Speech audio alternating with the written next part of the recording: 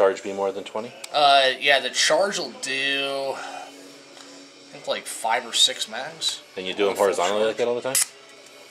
Well, you can do it like this too. It doesn't matter. I'm not an airsoft expert by any means. Oh, okay. It's Larry's thing. Well, so on your last shot, it'll lock back, but I'm gonna hold down the slide release. Cool. And then do you have to have that threaded orange thing on there?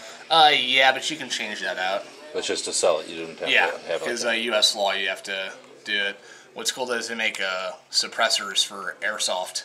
oh yeah. Some of them will actually suppress, and our ones have an LED built in. Some of the BBs have a almost like a glowing t- tinge to them, so if they get hit, they actually glow, glow in the dark. So it's like a tra- tracer.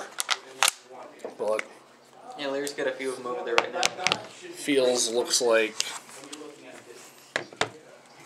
pretty close. You got a regular seventeen. um. Well, I was a 23. We can compare it to. It's pretty close. Lone Wolf framed Glock. Oh really? Yeah. Is that what it looks like then? Oh yeah.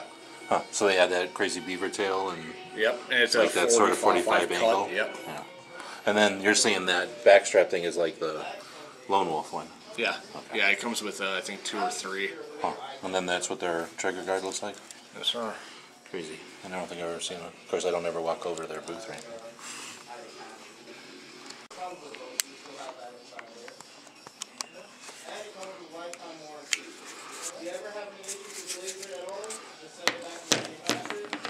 I don't like the mag release on it. It's like pre-cut to their like dome shape one. Yeah.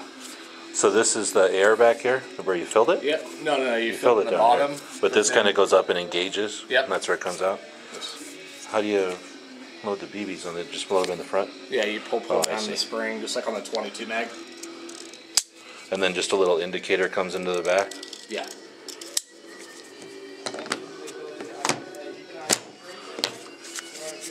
So then we know it's empty. And that's because the mag's empty. So if we just hold the, the slide lock back.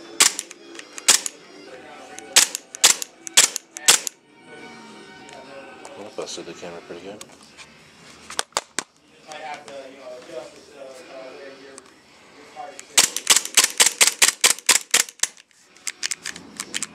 And then it's pretty much out of juice. Yeah. I, I didn't give it a full fill, so. So what, you just buy a bunch of magazines like that then and just run it like a real gun? Yep. So you just load in your mags, strip them out. How expensive are mags usually? They're about 30 to 40 bucks. A little bit So more than a regular com- mag. comparable, yeah.